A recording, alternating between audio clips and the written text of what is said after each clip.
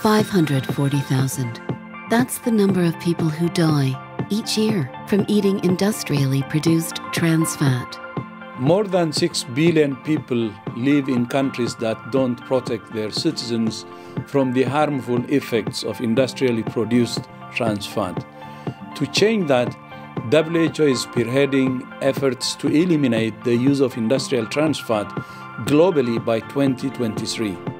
Trans fat is found in baked and fried foods, or used for cooking at home, in restaurants, or by street food vendors.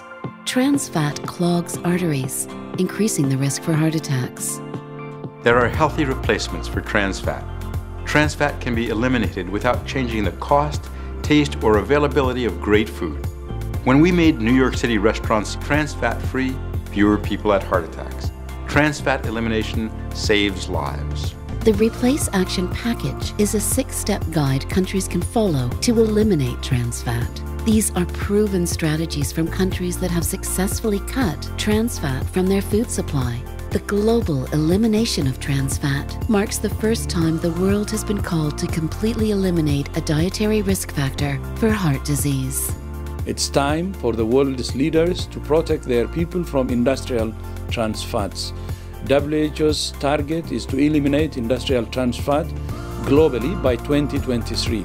We have developed the evidence based tools for countries to make it happen.